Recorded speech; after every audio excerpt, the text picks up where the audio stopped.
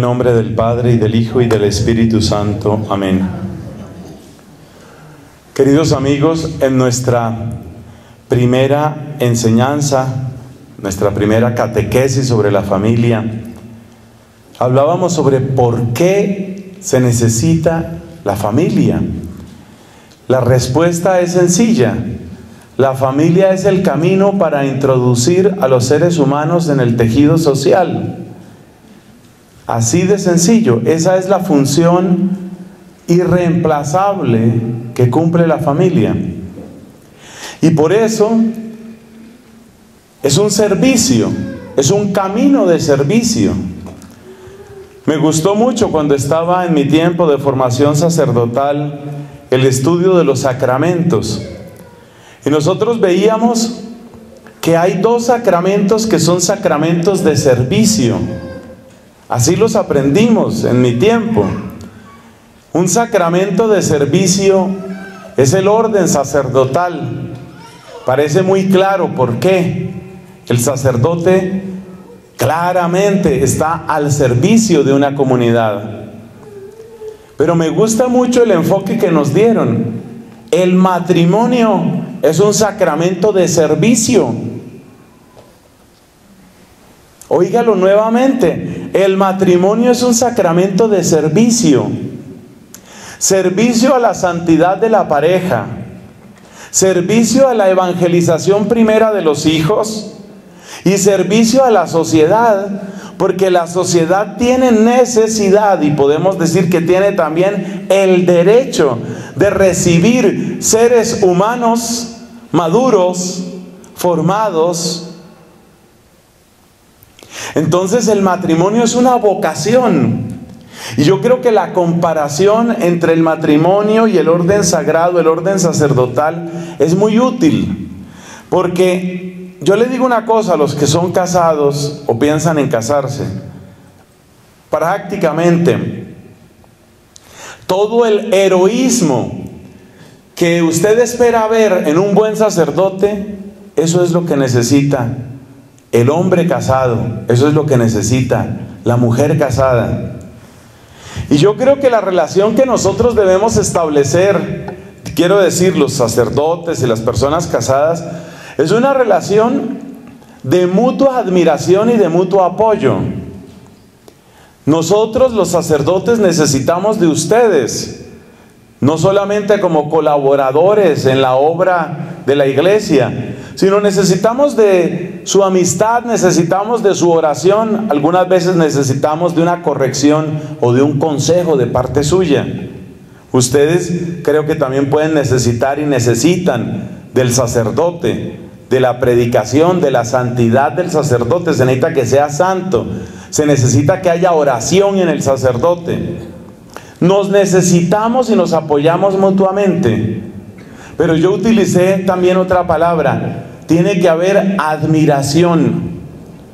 Qué bueno es encontrar a un sacerdote que por su forma de vida, que por su predicación, que por su cercanía con Dios, realmente nos hace bien. Pues esa es la misma alegría que yo siento como sacerdote cuando encuentro una familia, cuando encuentro una pareja que vive su vocación. Y si a usted le parece que hay algo de heroísmo en la vocación del sacerdote, déjeme decirle, hay un profundo heroísmo en la vocación de un padre de familia, sobre todo en nuestra época. Ser un mal sacerdote, digamos que es relativamente fácil.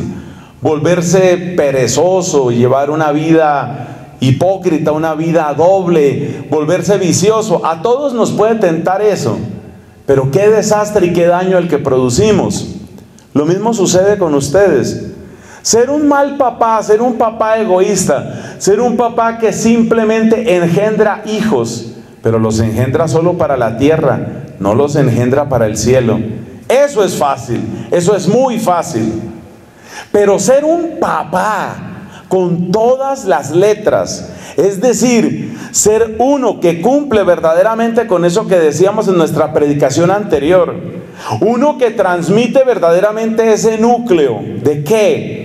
valores, convicciones y también esa capacidad de defender ese núcleo y también esa capacidad de entender la diversidad humana en aquello que tiene de lícito y de válido. Eso es ser un papá. Y eso cuesta mucho trabajo, porque hay muchas voces.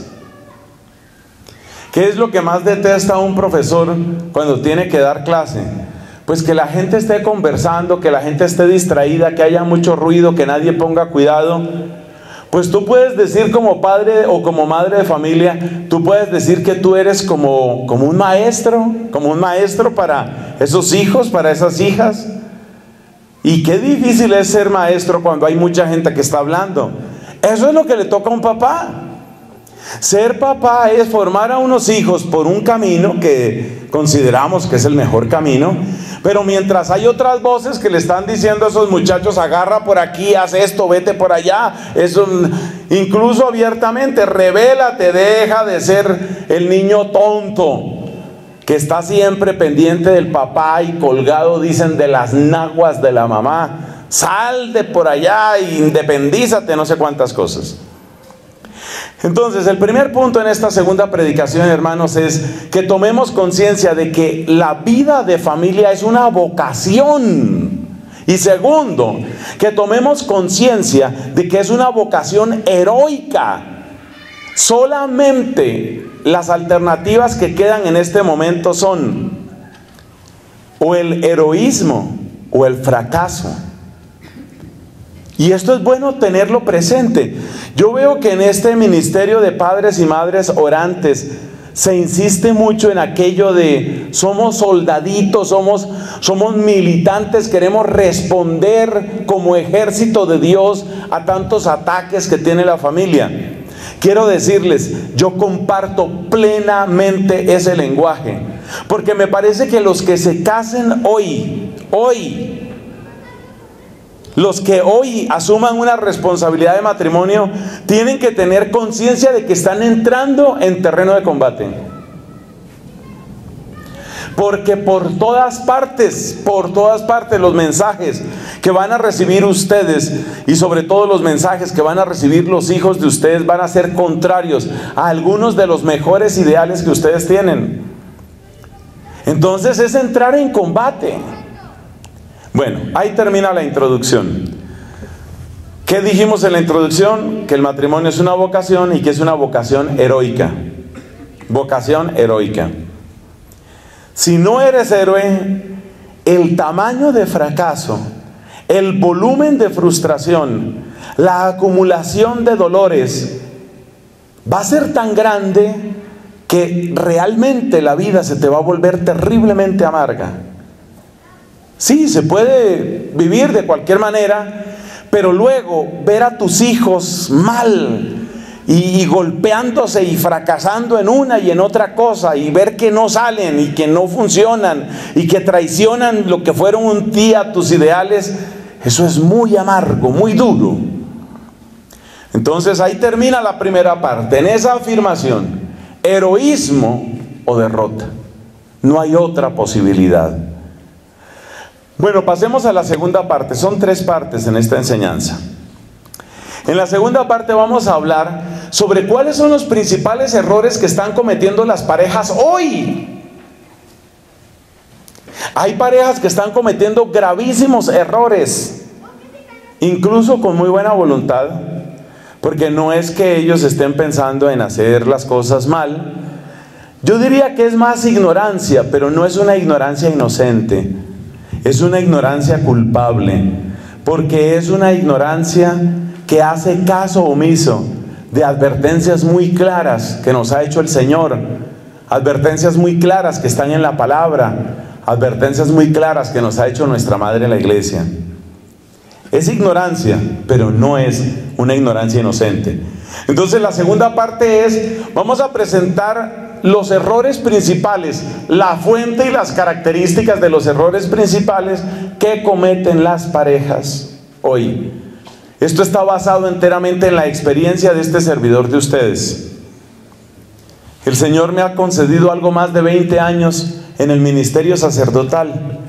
Yo creo que en 20 años he alcanzado a conocer bastantes familias, bastantes parejas, parejas de las que yo llamaría parejas exitosas y también he conocido parejas en desastre, parejas desastrosas.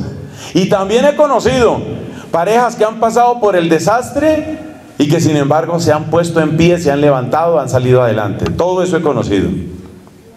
Entonces, en la segunda parte de esta enseñanza vamos a hablar de esos errores, porque hay que identificarlos.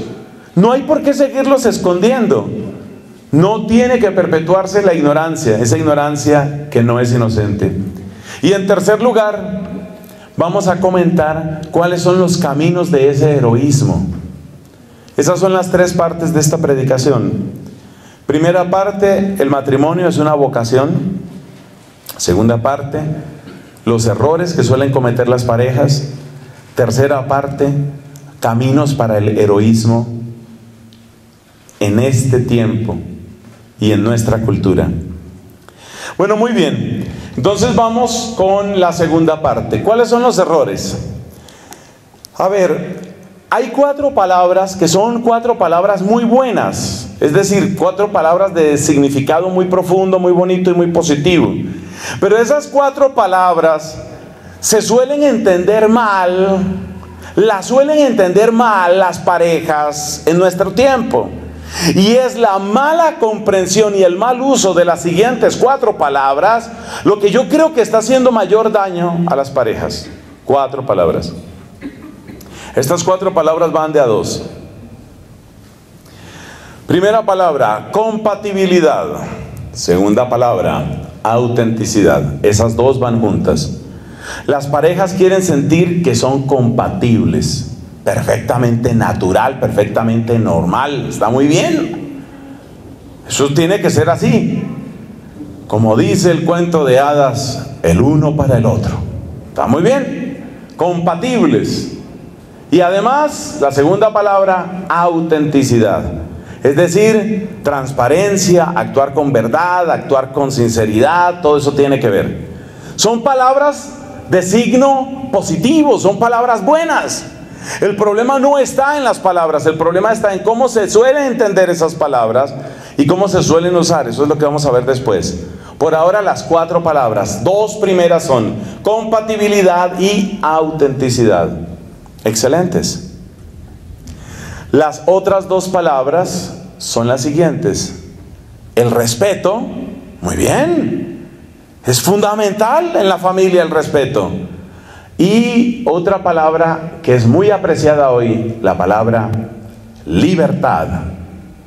Está muy bien. Es una palabra que incluso tiene un sabor bíblico profundo. Libertad.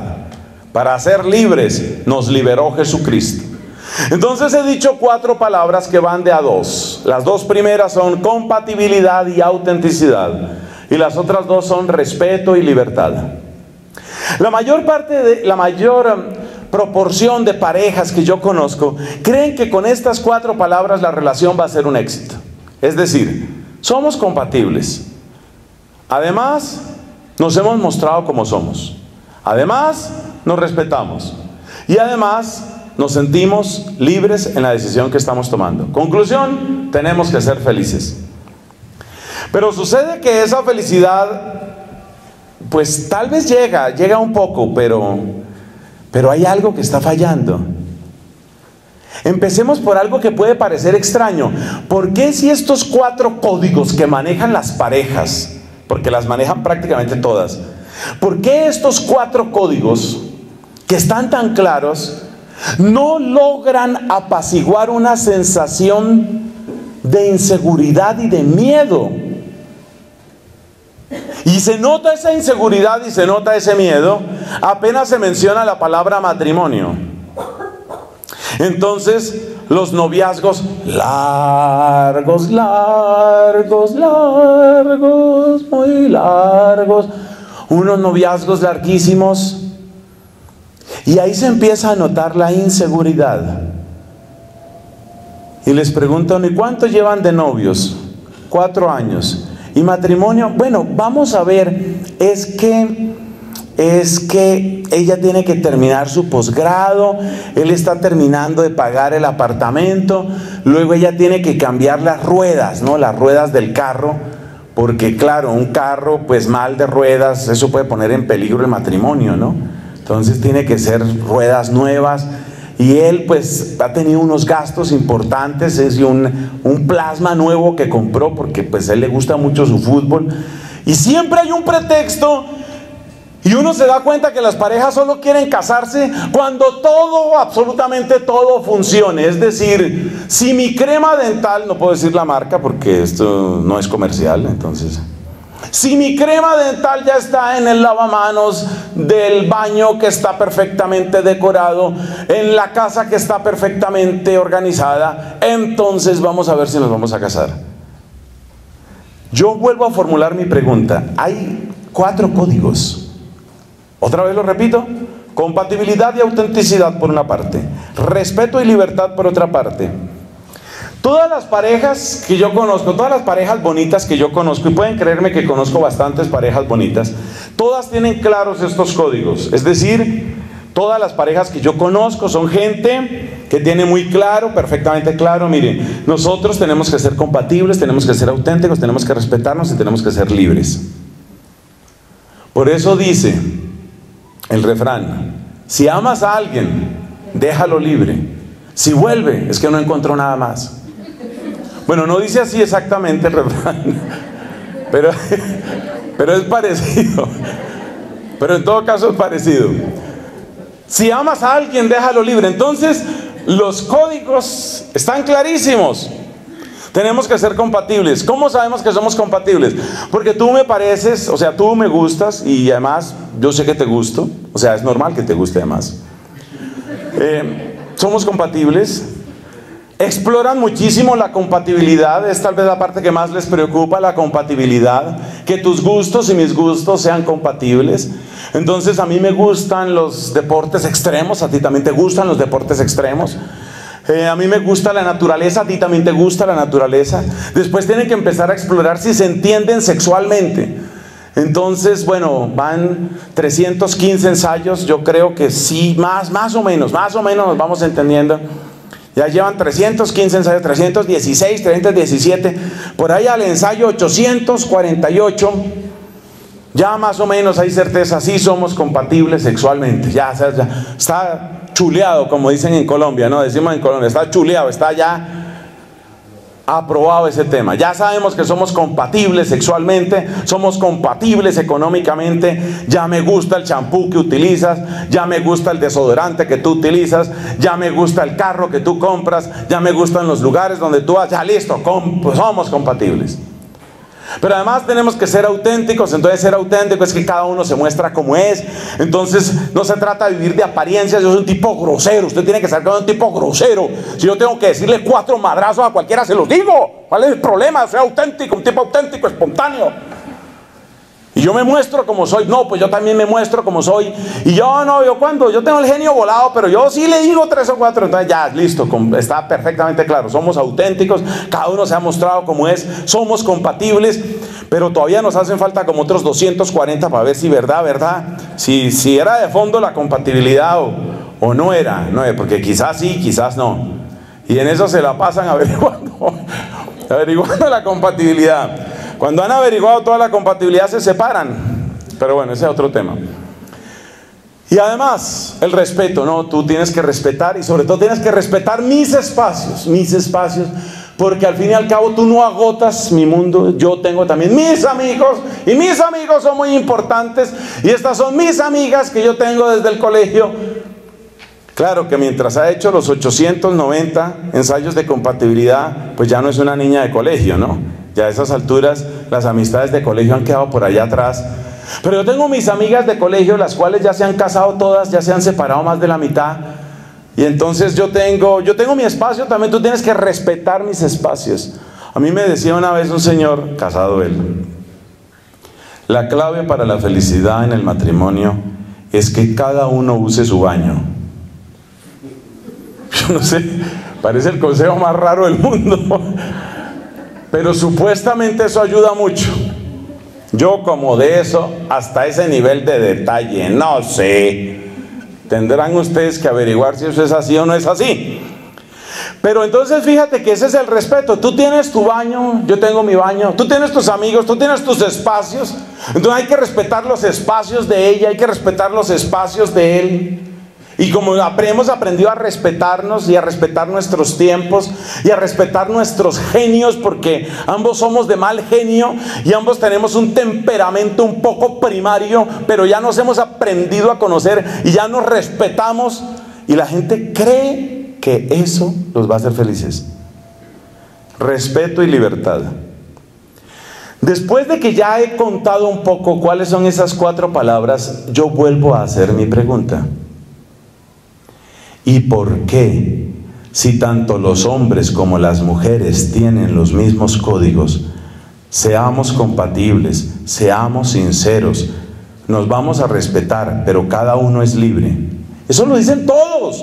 Todas las parejas dicen lo mismo. Yo hago una pregunta, si tienen los mismos códigos, entonces ¿por qué? ¿Por qué se sienten tan inseguros? Esa es una buena pregunta. Y se les nota la inseguridad cuando se habla al futuro. Entonces, la expresión que funciona ahí es la expresión de los españoles. Hay muchas expresiones de españoles que a mí me fascinan. Una de ellas es de momento, de momento. Entonces, bueno, ya, bueno, mi amor, ya, ya llevamos 940 ensayos de compatibilidad, mi amor. Yo creo que ya somos compatibles.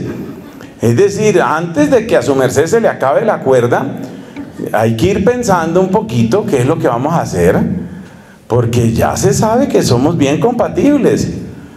Bueno, no, no, no, espérate, no me presiones, no me no empieces con eso, no me presiones, por favor. Vamos despacio, pero no tan despacio, mi amor, no, no, no se puede ir tan por eso, pero no me presione. Mire, de momento, de momento estamos bien. De momento estamos bien. Quizás en otros 300, 400 ensayos a ver, ahí ya pueda yo tener como un poco de tranquilidad, a ver qué es lo que es. Mire, de lo que más está destruyendo a las parejas, dicho ya sin, sin chiste, lo que más destruye a las parejas, de lo que más destruye a las parejas es el sexo. Ese sexo sin cimiento, sin garantías, sin futuro, sin horizonte. Ese sexo es lo que más, de lo que más destruye a las parejas.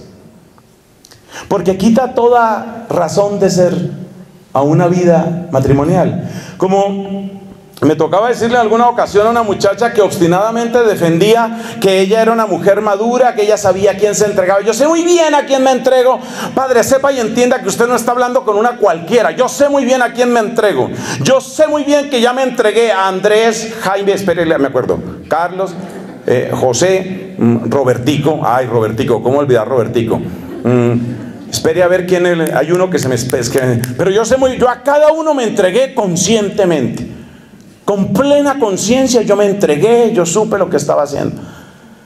Y entonces le dice a uno, y el novio que usted tiene tiene relaciones con usted. Claro, claro, hoy todo el mundo, padre. Es que por favor despierte, padre. Estamos en el siglo XXI. Es que usted se pone ese hábito medieval.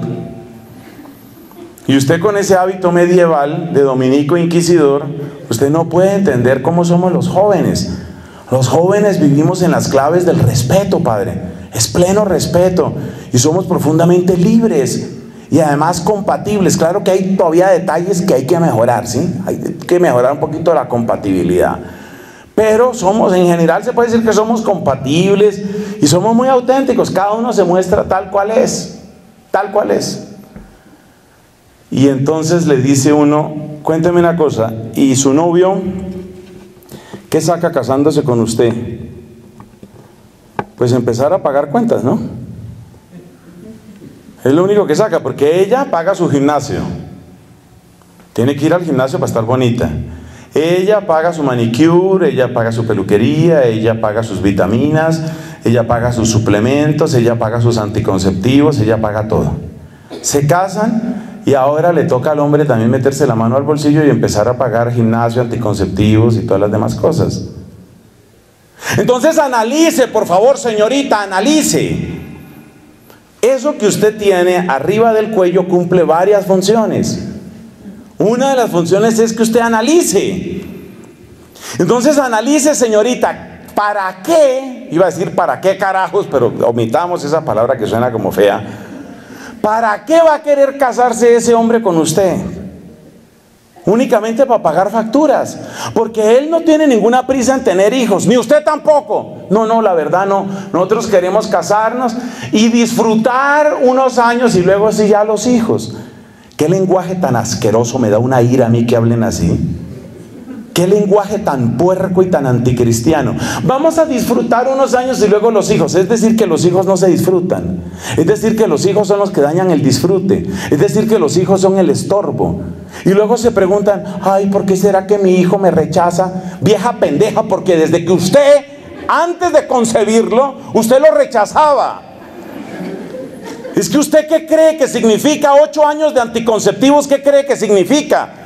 O utilizar 8 años o 7 años o 20 años de anticonceptivos lo que significa es cualquier hijo que aparezca es un estorbo. Eso es lo que significa un anticonceptivo. Y esto lo dijo, claro que lo decía más elegante. Yo soy así un poco a veces, ¿no? Soy espontáneo, soy auténtico. Ustedes me conocen, soy auténtico. Oiga, lo decía con mayor elegancia el Papa Juan Pablo II. Él decía eso. La mentalidad anticoncepcionista es una mentalidad homicida. Y es el preludio de un aborto. Claro que sí. Porque ¿qué es la anticoncepción? La anticoncepción significa, vamos a disfrutar, amor mío, de mi vida, porque si aparece un niño se nos daña el disfrute. Entonces, ¿qué es un niño? Un niño es un enemigo. Empiezan a odiar a los hijos antes de tenerlos. Empiezan a rechazar a los hijos antes de tenerlos. Y cuando ya al fin, antes de que el organismo termine de estropearse y empiecen los riesgos de que si una malformación y entonces me toca abortar, obviamente, cáese de su peso, toca abortar. Antes de que llegue esa edad avanzada, entonces ¿qué toca hacer? Pues toca impedir la esterilidad total, porque eso sí sería muy terrible. Entonces, por ahí tener un hijo, por ahí tener un hijo, el cual sirve para que pues las empresas no queden por ahí a cápites, ¿ves? Es tener un hijo para que ese hijo pues sepa administrar las empresas. Entonces fíjese, ese hijo nació odiado y nació programado. Y luego dicen, ay, ¿por qué mi muchacho será así tan rebelde? Esta juventud no hay quien la entienda, padre, no hay quien la entienda. Nosotros que le hemos dado todo, le dimos todo. Incluso matamos varios hermanitos por él. ¿Cómo así? Claro, porque como es de concepción in vitro, entonces tuvimos que producir unos 10, 12 embriones y hubo que eliminar 8 antes de él. Entonces ya le matamos 8 embriones, 8 hermanitos le matamos para que pudieran hacer él. Hola, y el bendito muchacho no aprecia eso, hombre. Matarle tantos embriones y no, no aprecian. Es que son desagradecidos estos jóvenes. Dese cuenta. Dese cuenta las mentiras que empiezan a colarse en esas características.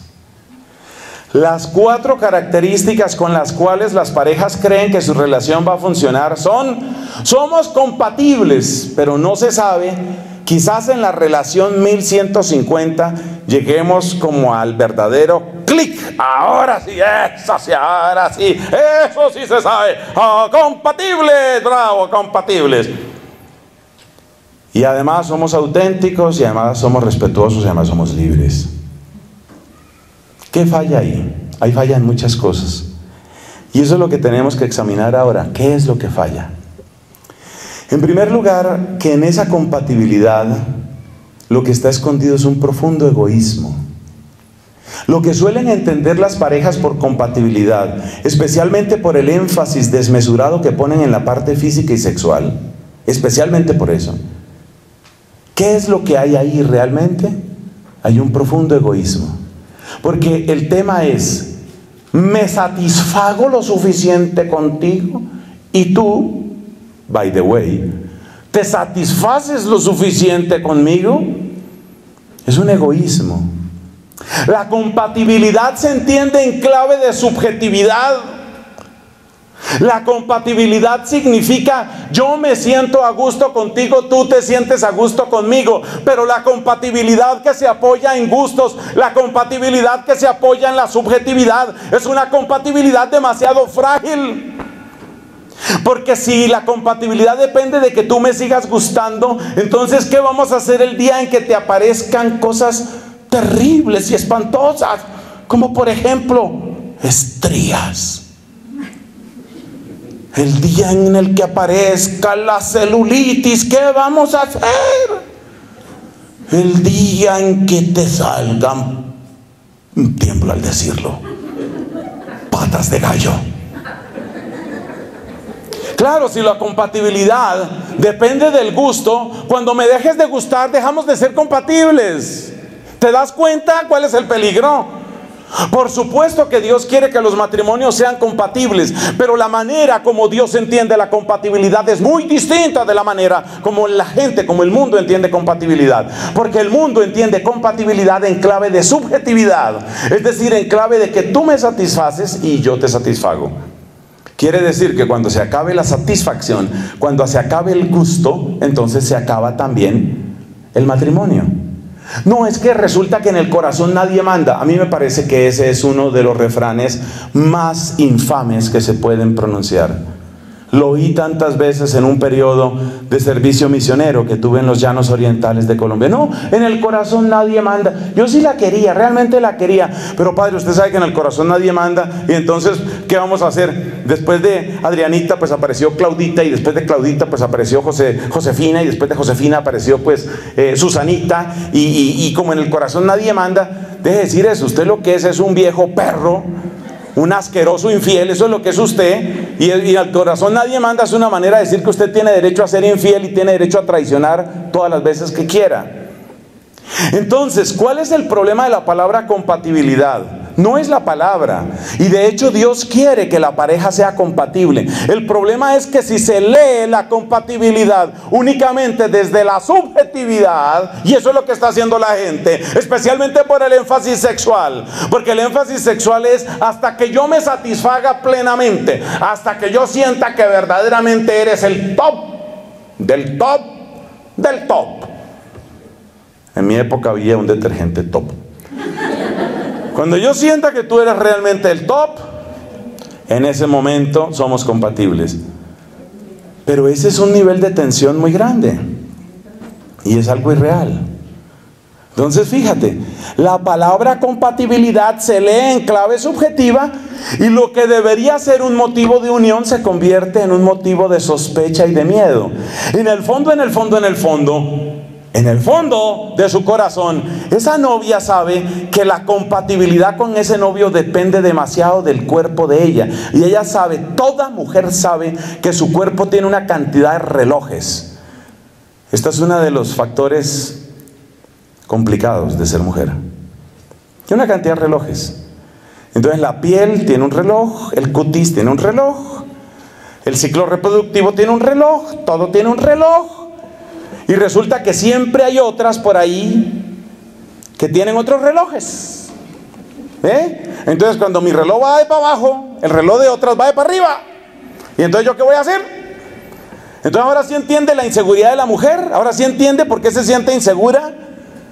Y ahora sí entiende la inseguridad del hombre para casarse. Claro, si la compatibilidad se lee desde la subjetividad, entonces el hombre no se siente seguro de casarse porque aunque nunca se lo dirá, nunca, nunca se lo dirá la novia, en el fondo lo que está pensando es cuánto reloj le quedará esta después de las 1300 pruebas de compatibilidad.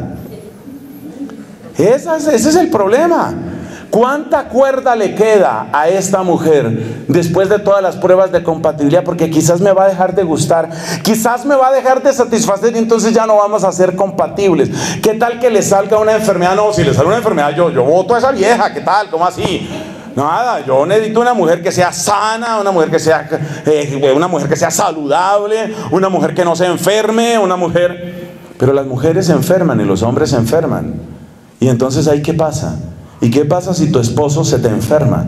¿Y qué pasa si tu esposo requiere no tanto darte infinita satisfacción, sino tú darle a él infinitos cuidados? ¿Ahí qué pasa? Ah, no, no, yo sí no estoy preparada para eso. Yo sí no estoy preparada para eso. Yo lo único que sé es que yo tengo unas botas que son de punta de hierro. Yo le daré una buena patada a ese señor, lo saco de mi vida. Porque yo no puedo, yo con eso sí no puedo. Entonces fíjate el problema. La compatibilidad cuando se lee en clave de subjetividad produce inseguridad. Y es por eso, porque si es subjetiva la compatibilidad, es como un acuerdo de que tú me gustas mucho y me satisfaces mucho y yo te gusto mucho y te satisfago mucho y entonces estamos pagándonos la moneda de la satisfacción, pero ambos sabemos que esa moneda se acaba y que esa moneda cansa. Ahora, ¿qué diremos de la autenticidad? La autenticidad debería ser una cosa y es una cosa muy buena. La autenticidad significa que lo que tú eres interiormente es lo mismo que tú manifiestas exteriormente. Esa es la autenticidad. Pero hay un problema que también lo denunció Juan Pablo II y es el problema entre la palabra autenticidad y la palabra verdad. El ser auténtico no es suficiente. ¿Por qué? Porque como yo soy auténtico, yo siempre digo lo que sea. Yo siempre digo lo que estoy pensando. Y por ejemplo te voy a decir una cosa. ¿Qué quedó de la mujer que yo conocí? Ahora te veo con un cuerpo de bolsa de leche que realmente no sé ni por dónde coger. Esa es la realidad. O sea, yo soy auténtico. Tú me conoces, ¿sí o no? Desde el principio yo fui muy auténtico. Siempre te digo lo que es. ¿La autenticidad es suficiente? No. ¿Por qué? Porque la autenticidad sola, de nuevo, es subjetiva. La autenticidad sola equivale a yo soy así, ¿ok? ¿Algún problema? Y si le sirve bien, y si no, ¿para qué se inventaron el divorcio? Sobre todo el divorcio express. ¿Qué es el divorcio express? Uno de los engendros de la legislación española recientemente. El divorcio express es la facilitación del divorcio, que en la práctica equivale a que si va una pareja a una notaría y dice, ¿sabe qué? Como que, no, como que esto ya se acabó. Firman, firman, firman, se acabó. Listo, separación de bienes. Esa es la manera como el Estado destruye la familia. Bueno, entonces, ¿cuál es el peligro de la autenticidad? ¿Estoy invitando yo a que la gente sea hipócrita? No. El peligro de la autenticidad es la autenticidad leída desde clave puramente subjetiva. Y cuando la autenticidad es puramente subjetiva se convierte en que yo soy así.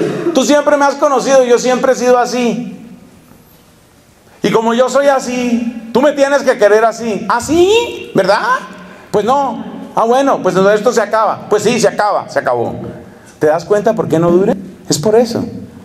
La autenticidad, lo vuelvo a decir, ¿es una cosa mala? No, es una cosa buena, muy buena. Pero, si la autenticidad se mira sin una referencia exterior y objetiva a la verdad de la unión del matrimonio como Dios quiere, si no existe la referencia externa, la autenticidad se convierte en la tiranía de así soy yo, no me pretendan cambiar. Muchos jóvenes, de hecho, aunque no tengan novio ni novia, muchos jóvenes y muchas jóvenes obran de esa manera. No, yo soy así, yo simplemente me muestro como soy. Yo desde el principio me mostré así. Y hay una trampa muy terrible y muy dolorosa que muchos hombres le hacen a muchas mujeres. No, yo en realidad nunca te prometí nada. Todas esas veces que el hombre decía, no, espérate, no me presiones, ya te dije que no me presiones. ¿Con qué parte no entiendes de no me presiones? ¿No entiendes? No presionar. Mi amor, pero es que ya después de 14 años y 2.300 pruebas de compatibilidad, yo creo que ya debería, no me hables así, no me levantes la voz.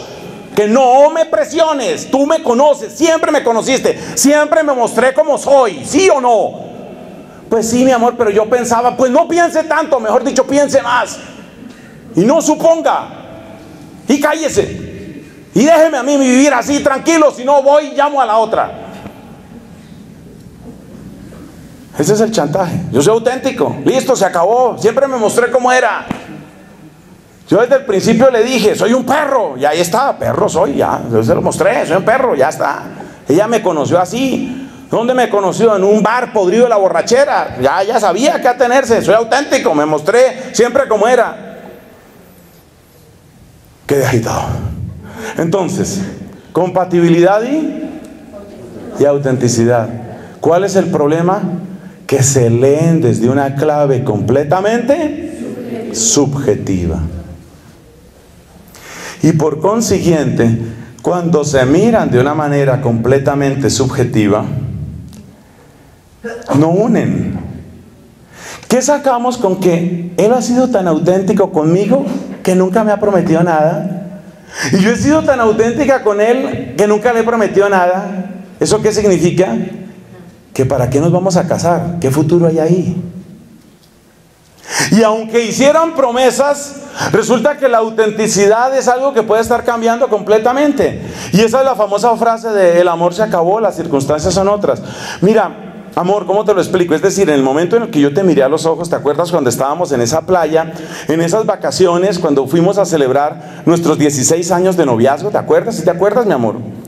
Cuando estábamos allá celebrando los 16, no me acuerdo si eran 16 o 17 años de noviazgo, que me acuerdo que estábamos celebrando las 5000 compatibilidades o una cosa así, bueno. Cuando estábamos celebrando allá los 17 años de noviazgo, ¿te acuerdas en esa playa cuando te miré a los ojos y cuando te dije, mi amor, quiero entregarte el resto de mi vida. ¿Te acuerdas que tú te pusiste a llorar? Sí, mi amor, ¿cómo olvidarlo? Bueno, pues ahora siento distinto. Mira, ahora lo que estoy sintiendo ahora es muy diferente. Ahora lo que siento es que realmente no quiero estar el resto de mi vida contigo. O sea, quiero ser claro, si quiero ser honesto. ¿Sí me explico? Soy una persona honesta. En ese momento yo era honesto, sí, cuando te decía que te quería. Ahora soy honesto para decirte que no te quiero. Y te voy a ser honesto para decirte que es que ya estoy queriendo a otra persona. Sí, soy honesto, soy una persona honesta, clara. Soy auténtico, ¿sí? Una autenticidad que está guiada únicamente por la subjetividad no da ningún piso. ¿De qué me sirve que el novio o que la novia sea auténtica si su autenticidad le permite dentro de dos meses decirme, ¿sabes qué? no sé, como que no me veo contigo, como que no sé, no sé, no sé, ahora todos se volvieron filósofos, no sé, entran en una duda metódica, no sé, ¿cómo es el pensador? No sé, tengo que pensarlo. Necesito un tiempo. Así le dijo un muchacho a su novia, necesito un tiempo. Y ella le dijo, mire, aquí los únicos que dan tiempo son los relojes. necesito, Necesito un tiempo, necesito un tiempo es que necesito escoger bien, eso es lo que significa necesito un tiempo, ¿no? Para que nadie se engañe. Necesito un tiempo es necesito escoger bien. A ver al fin con qué me quedo. Eso es lo que significa necesito un tiempo. Para que aquí nadie venga aquí con engañitos tontos. Entonces, claro, cuando la gente está metida en la subjetividad, la autenticidad no garantiza nada. Y por eso se engañan las parejas que creen, no, yo lo conozco tal cual es. Eso no garantiza nada, hermano. No garantiza nada porque la persona puede ser perfectamente auténtica el lunes, pero el miércoles mi autenticidad me lleva a decirte, ¿sabes qué? Yo creo que realmente, es decir, ya al llegar a la compatibilidad 5300, no sé, yo siento, yo siento como que tal vez no, ¿sabes? O sea, para ser así muy franco, yo siempre he sido muy franco contigo, ¿sí? Entonces, conclusión, la conclusión es que, pues mira, pues realmente yo quiero que terminemos esto de una manera civilizada, ¿sí? Es decir, somos gente adulta, vamos a acabar esto de una manera civilizada. Aquí, por favor, no acaben gritos, no acaben acusaciones. Eh, simplemente, pues tú por tu lado, yo por el mío, sí, pero seamos civilizados. Y, y, entonces, claro, es sobre todo la mujer, por eso es que la mujer tiene no sé cuántos relojes en el cuerpo. Es sobre todo la mujer la que se da cuenta, ¿y quién echa de para atrás mis relojes? Porque el hombre más o menos sale indemne. Por favor, apuntar esa palabra por ahí. Sale indemne. Y sale impune por consiguiente. El hombre sale indemne y sale más o menos impune. Más o menos, hay que ponerle más o menos también. Pero la mujer, ¿ah? Entonces la mujer tendría que decirle, si me vas a dejar, déjame donde me encontraste y con los relojes que me encontraste. Ay, no, mi amor, sabe que eso sí, yo brujo sí no. Yo mago sí no puedo ser. Eso sí, yo no tengo culpa de sus relojes. En todo caso, quiero decirte que estos 18 años de noviazgo, o sea, para mí han sido como una mayoría de edad. ¿Verdad que sí? Para mí, yo en estos 18 años, yo he aprendido mucho. Yo espero que tú sepas valorar tanto como yo. Han sido años que nos han dejado muchas experiencias. Entonces vamos a ser muy civilizados. Entonces tú te vas, pero procura irte pronto y procura no hacer ruido. Si te vas a suicidar, que no suene mucho, por favor. Nada de carticas pendejas por ahí.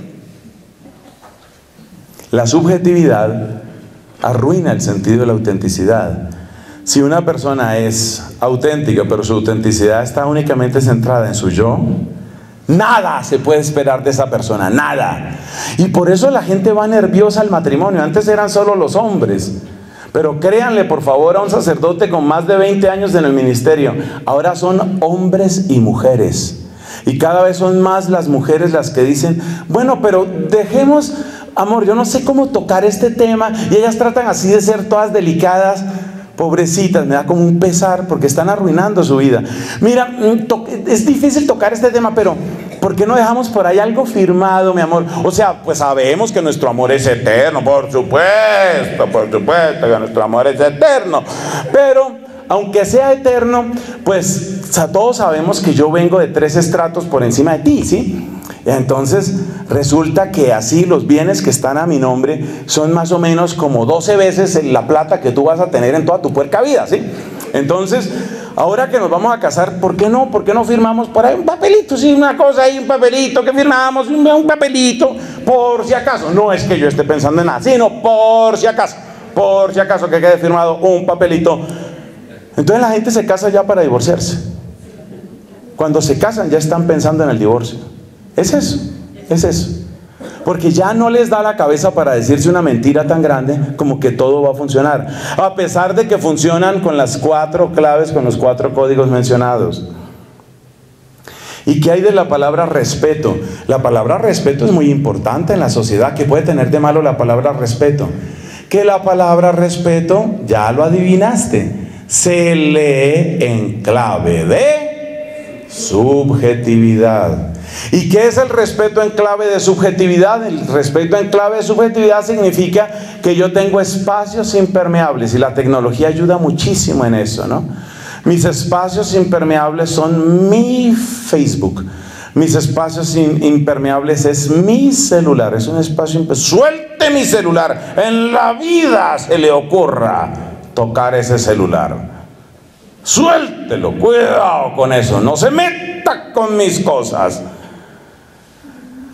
¿Y qué hay detrás de esas barreras tecnológicas? ¿Y qué hay detrás de ese yo sigo viéndome con los amigos míos, que son míos, que no son de la pareja, sino mm, mm, mis amigos? ¿Qué hay detrás de eso? Hay todas las oportunidades para que se acabe una relación. No necesariamente se acaban, y no necesariamente se acaban por lo que algunos de ustedes están pensando, ah, claro, como tenía sus espacios y como tenía sus relaciones, entonces allá encontró alguien más. No. ¿Sabe qué es lo más peligroso en lo que yo he visto en los años de sacerdocio que Dios me ha concedido? Lo más peligroso, ¿sabe qué es? Los consejitos de esos amiguitos y esas amiguitas y amigotes y amigotas eso es lo peligroso. Nada más peligroso que la esposa en garras de un grupo de amigas que casi todas son separadas. Eso es un peligro brutal. Yo no estoy diciendo aquí que la gente necesariamente en sus espacios, donde reclaman respeto, tú me respetas mis espacios. Yo tengo mi cuenta bancaria, yo tengo mis dólares, yo tengo mis empresas, yo tengo mis amigos, yo tengo mi rincón. Lo más peligroso no es, aunque alguien podría pensarlo, y a veces sucede, lo más peligroso no es que encuentre otra persona así, lo más peligroso son los consejos. Porque una persona se envalentona con los consejos muchas veces perversos de los amigotes y va con esa mentalidad a no dejarse de la esposa. Porque esa es la manera como le hablan los amigotes. Y usted tan tonto, usted todavía se deja de esa vieja, demuéstrele quién es el hombre de la casa. ¿Eh? Y lo mismo para ella.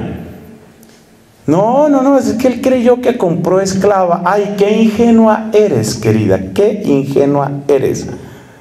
No has aprendido, mira, a esos hombres desde el principio hay que tenerles el bozal cortico. Entonces, claro, ella escucha de sus amigotas que hay que tenerle el bozal cortico. Y él escucha de sus amigotes, no se deje de esa vieja. Entonces llegan estos dos y ahí es donde sucede, ¿no? ¿Y usted qué? ¿Yo qué? ¿Qué de qué? No, pues, ¿qué de qué de qué de qué? Pues qué, de qué, de qué, de qué, de qué, de qué, qué. ¿O cómo así? No, no me cambie de tema.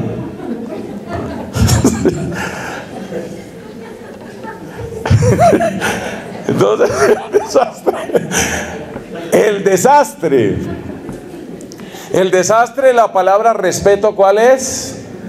Que el respeto se entiende en clave subjetiva. ¿Y en clave subjetiva qué quiere decir? Quiere decir que el respeto se convierte en un espacio donde yo sigo siendo soltero. Hay una parte de mi vida que no está casada contigo. Hay una parte de mi dinero que no está casada contigo. Hay una parte de mi alegría que no está casada contigo. Por Dios, ni los hombres son tan tontos, ni las mujeres son tan tontas para ignorar los peligros que eso tiene, peligros de todo género. Por eso no quieren casarse, porque aunque de labios para afuera elogien y pondiren la grandeza del respeto. Y aunque canten la grandeza del respeto, ambos saben que detrás de ese respeto hay zonas muy oscuras de la vida de ese hombre que yo no conozco. Y eso es muy peligroso. Ustedes saben cómo llama la Biblia la relación íntima entre el hombre y la mujer, lo llama conocer. Para ellos, cuando se dice en la Biblia, y fulanito conoció a su tanita, quiere decir que tuvo intimidad con ella. Eso está indicando algo muy profundo, no es simplemente el hecho de que conoció su cuerpo, vio el cuerpo de ella, no. Ese conocer está indicando que a partir de la intimidad y la intimidad y todo lo que se comparte en torno a la intimidad, se llega verdaderamente a conocer todo de la persona. Pero ¿qué es lo que está sucediendo en nuestra época? Que tienen intimidad y no se conocen. Entonces tienen 6.300 pruebas de compatibilidad y todavía yo no sé dónde está el corazón de él. Y esa es la angustia de tantas muchachas que tienen un reloj que está sonando día y noche. Tic, tac, tic, tac. Ese reloj no para.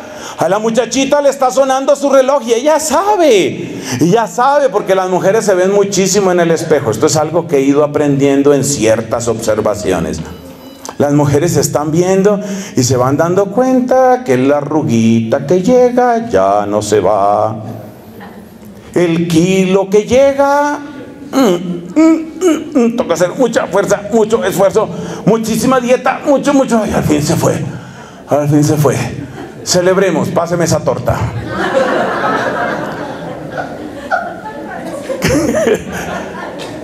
kilo que llega, kilo que se queda. Arruga que llega, arruga que se queda. Cana que llega, cana que se queda.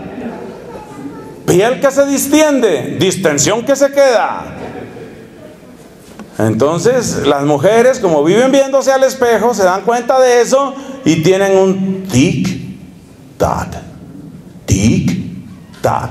Y eso está sonando y la mujer se está dando cuenta y la mujer sabe lo que le está sucediendo y esas zonas oscuras, ¿dónde está realmente el corazón de este hombre?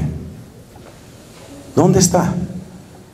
Por ejemplo, consejo que suelo dar a las mujeres, si el hombre con el que tú estás no habla de futuro, y hablar de futuro es hablar de fecha de matrimonio, hablar de muebles, hablar de educación de los hijos. Si el hombre con el que tú estás no habla de futuro, seguramente ese hombre no te sirve para nada. Esa es la respuesta. Hombre que no hable de futuro, no te sirve, no pierdas tiempo. Haz silencio, entra en el auditorio del colegio Calasanz, quédate en silencio y oirás un reloj. Tic, tac, tic, tac. Y arruga que llega, arruga que se queda. Kilo que llega, kilo que se queda. Cana que llega. Entonces tú tienes que sentir eso. Y por eso, si las mujeres realmente fueran honestas con ellas mismas y dejaran de echarse fábulas y mentiras, serían más felices ellas, se casarían mejor y mejoraría la sociedad. Por eso, este predicador tiene que hablar así. ¿Por qué tengo que hablar así? ¿Por qué? ¿Por qué? ¿Por qué? Tengo que hablar así para ver si logro despertar a unas cuantas mujeres, sobre todo a las mujeres, porque de los vientres de ustedes va a salir la sociedad. No va a salir de otra parte. De los vientres de ustedes sale la sociedad. Y si ustedes toman malas decisiones, y una mala decisión también puede ser no tener hijos, esa también puede ser una mala decisión. Si ustedes toman malas, malas decisiones, perdemos todos, así de sencillo. Nos falta la última palabra. A ver, las palabras eran compatibilidad, autenticidad, respeto y libertad. Una relación libre, es decir, yo no tengo que vigilar a nadie, no nos estamos vigilando, es decir, ambos estamos. ¿Qué significa? A mí, me, a mí me encanta oír a los jóvenes, yo sufro mucho con los jóvenes, con los adolescentes, con los jóvenes adultos, con los niños que pueden patear cámaras, en fin. Yo sufro mucho con, con muchas cosas, pero yo sufro mucho con los jóvenes. Y una de las cosas con las que yo sufro es con el uso que les dan a las palabras. Vamos a ser libres. Entonces, para no sufrir tanto, uno de mis placeres es hacer un poquito de filosofía elemental, ¿no? Filosofía muy, muy básica. ¿Tú cómo entiendes libertad? Para ti, ¿qué significa sentirte libre, por ejemplo, con tu novio? No, pues, es decir, aceptar a la persona como es. ¿sí? Somos libres, cada uno acepta al otro como es. Y la libertad significa que también Él me acepta como yo soy. Entonces nos aceptamos como somos y de esa manera somos profundamente libres. Ah, muy bien. Como Él es perfectamente libre, entonces tú no lo vas a coaccionar, ¿cierto? Tú no lo vas a obligar. No, no, yo no lo voy a obligar de ninguna manera. Ah, bueno.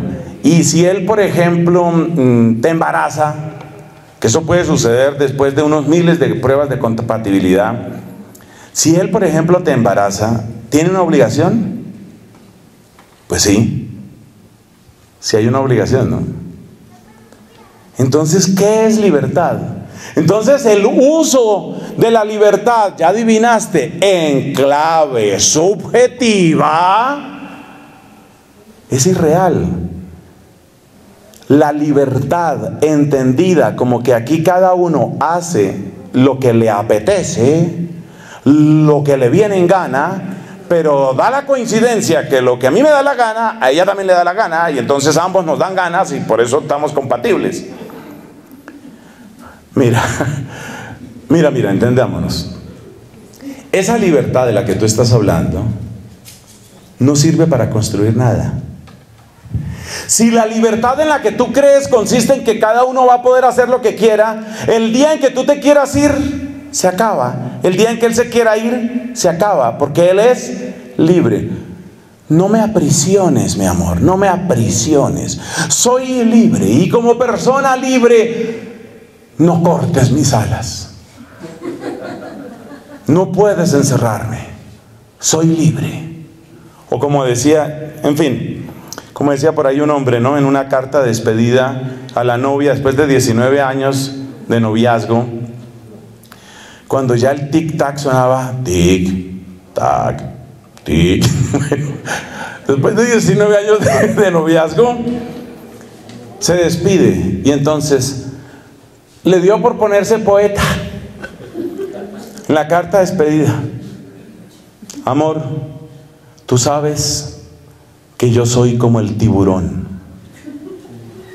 El tiburón no puede parar de moverse porque necesita que el agua pase por sus agallas y de esa manera respira. Si un tiburón se detiene, muere. Yo soy ese tiburón.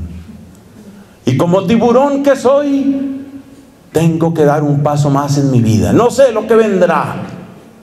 Hay ante mí un muro de tinieblas. No es fácil dejarte, pero soy un tiburón.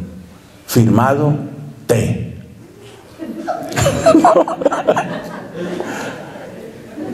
es libre, ¿cierto? Él es libre, él es un tiburón, él tiene que moverse y él es libre y entonces yo no, tú no puedes coartar mi libertad, tú siempre me aceptaste como yo soy y yo soy libre, entonces tienes que aceptar mi libertad y mi libertad significa eso. Como ustedes se dan cuenta, las cuatro palabras son todas importantes. Compatibilidad, autenticidad, respeto y libertad son palabras muy importantes. Pero esas palabras se arruinan completamente cuando se entienden en clave subjetiva. Porque la compatibilidad significa estamos juntos por el gusto. Y cuando se acaba el gusto, se acaba.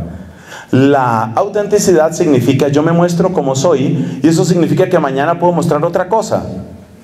Mantente en sintonía en el mismo canal, ¿ok? Mañana puedo hacer otra cosa. Soy auténtico. El respeto significa yo tengo cosas que a ti no te interesan y que nunca se van a casar contigo. Y la libertad significa soy un tiburón. De manera que si te devoré, mm, disculpa, en realidad no era mi intención. Yo soy una persona buena, es decir, yo no le hago mal a nadie. El hecho de que queden por ahí vidas así más o menos destrozadas, pues digamos que es un daño colateral, ¿sí? Un daño colateral. Pero yo de fondo soy una persona buena, muy buena. Entonces ahora entendemos por qué estas parejas no están funcionando para nada. Y ahora entendemos por qué se separan tan pronto. Pero te voy a contar una cosa si este consuelo magro te puede servir. ¿Sabes que lo mismo está pasando en las vocaciones sacerdotales y religiosas? Exactamente lo mismo. Lo mismo. Quitando obviamente unos elementos sobre todo los que tienen que ver con intimidad y con sexualidad, pero es el mismo razonamiento del sacerdote que recién ordenado a los dos o tres años pide que lo saquen, o pide dispensa, o peor aún, ni saca dispensa ni nada, sino que se libera por la ley del monte.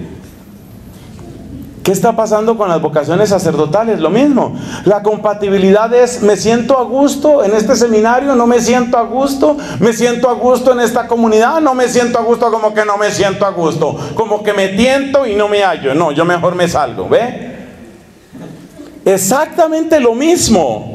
¿Y qué significa la autenticidad? Yo me mostré tal como soy. Entonces tenemos el caso de uno de los seminaristas nuestros que se muestra abiertamente. Yo no creo en la Eucaristía, pero yo quiero ser sacerdote. Soy auténtico.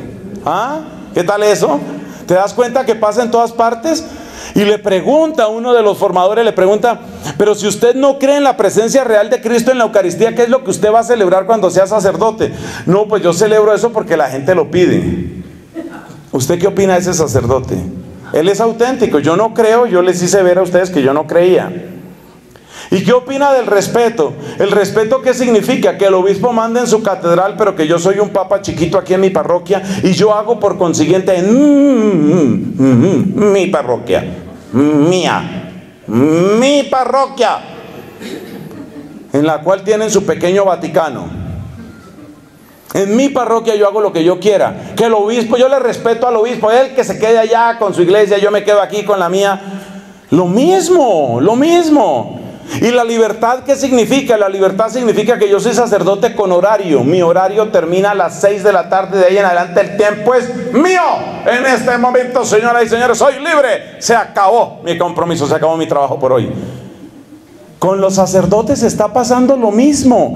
Este es un daño cultural. El que mejor lo denunció fue el Papa Benedicto. Se llama subjetivismo y se llama relativismo. Lo denunció muy claramente el Papa Benedicto y es una de las razones por las que tantos odiaron al Papa Benedicto. Porque él sabía denunciar cosas como estas. Es el subjetivismo el que arruina todo esto. Pero nuestro último punto es, ¿y entonces dónde entra el heroísmo? Pues vamos otra vez a los papas, empezando por el Papa Francisco y vámonos de para atrás, Papa Benedicto, Papa Juan Pablo II, Papa Pablo VI y podríamos retroceder más. ¿Cuál es el mensaje que los papas nos han estado diciendo especialmente en las jornadas mundiales de la juventud desde hace años?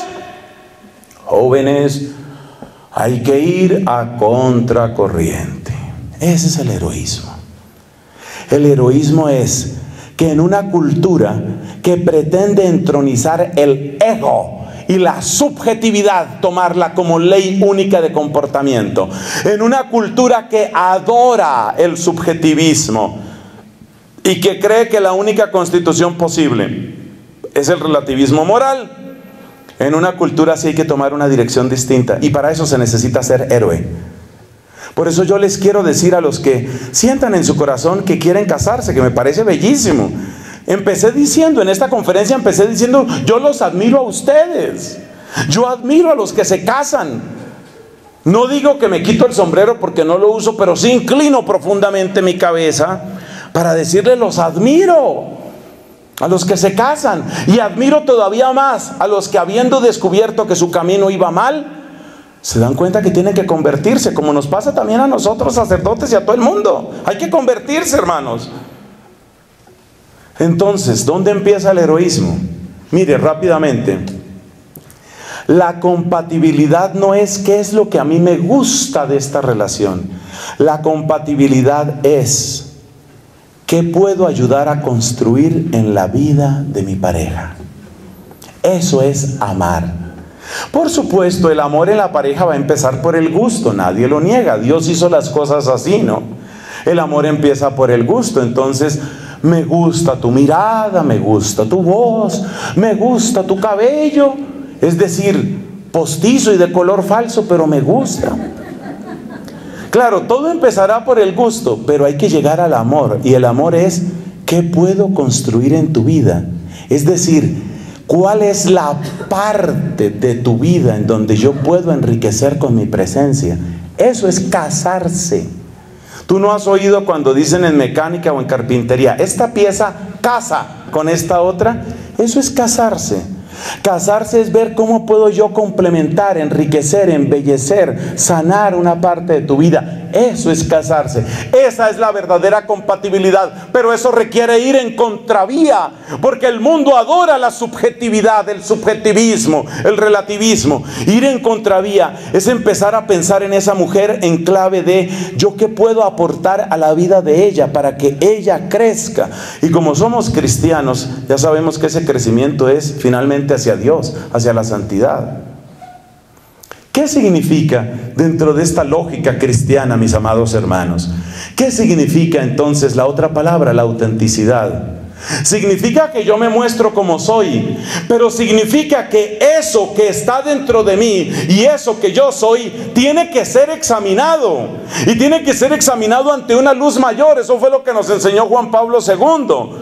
En Familiaris Consorcio está, por ejemplo, y está también en Veritatis Splendor, un documento que considero de los más profundos y brillantes de Juan Pablo II, el esplendor de la verdad. Lo he recomendado muchas veces, porque ahí es donde el Papa habla de estos temas de verdad, de libertad, de autenticidad. Entonces, ¿cuál es la autenticidad verdadera, la autenticidad genuina en una pareja cristiana?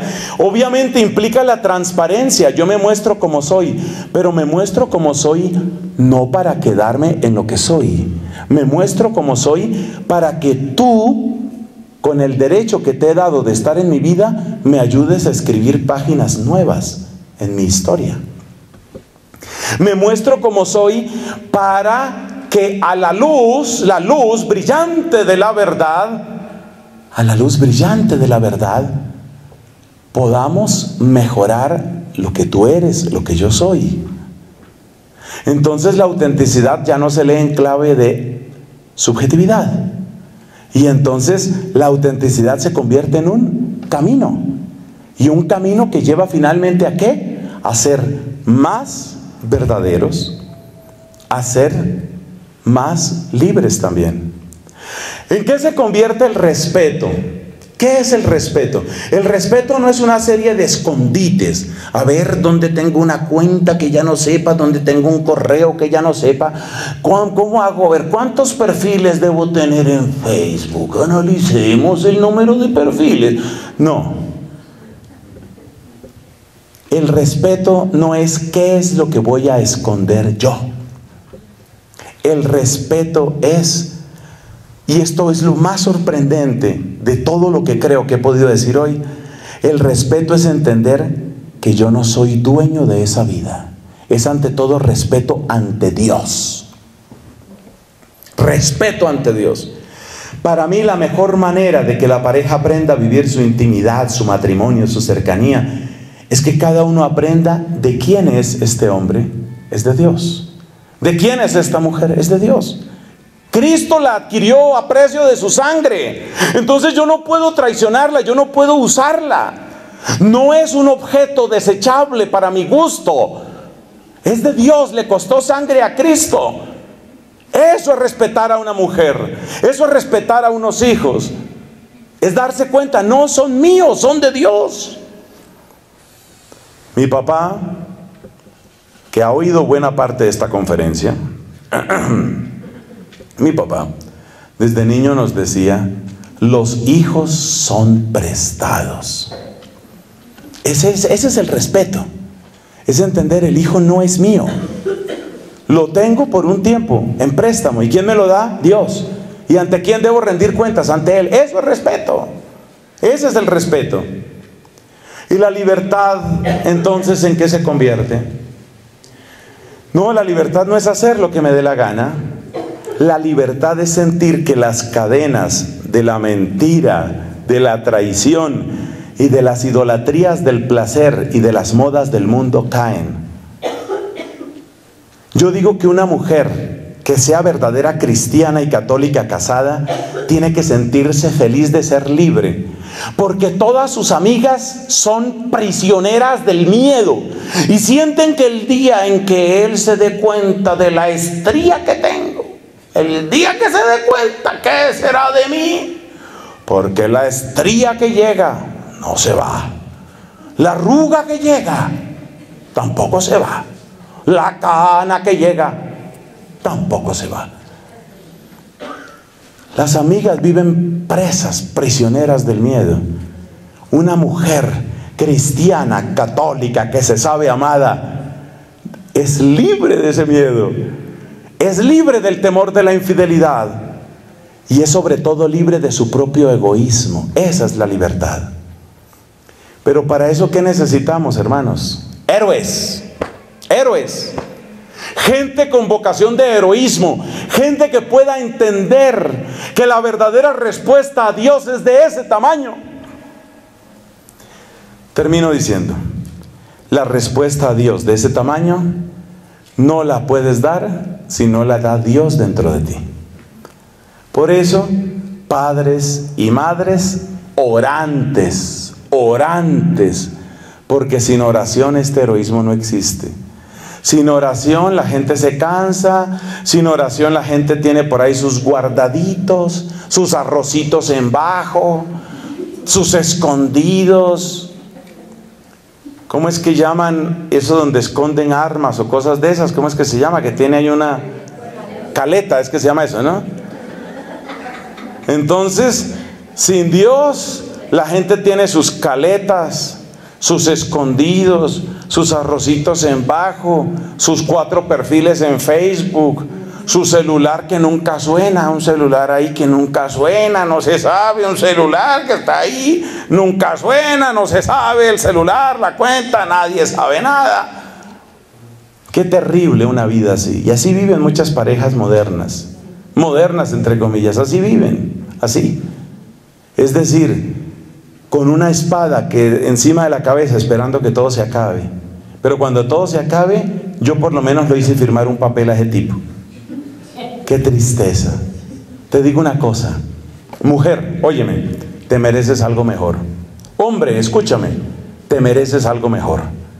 Pero eso mejor solo te lo da Dios obrando en ti para que puedas verdaderamente ser ese héroe que se necesita. Gloria al Padre, al Hijo y al Espíritu Santo.